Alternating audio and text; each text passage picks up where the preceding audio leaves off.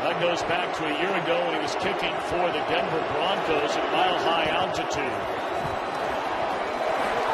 Over the middle, and what a reception made by Theo Riddick down to the 41 yard line.